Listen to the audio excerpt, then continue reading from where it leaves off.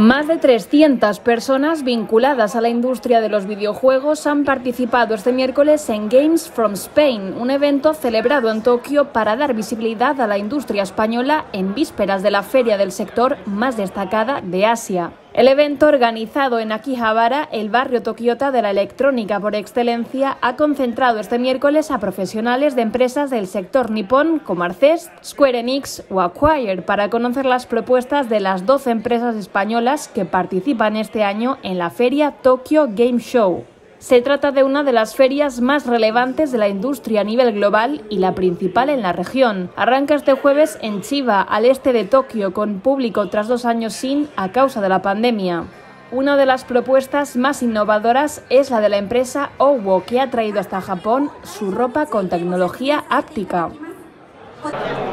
Este sistema está patentado porque tenemos un algoritmo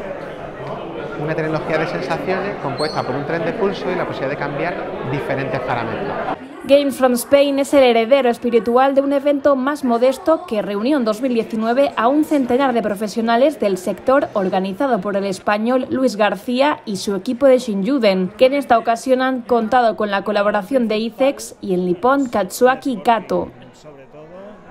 sobre todo si es poner en contacto ambas industrias, que surjan oportunidades de trabajo, que gente que no tiene todavía el juego colocado en Japón pues pueda conseguir algún socio.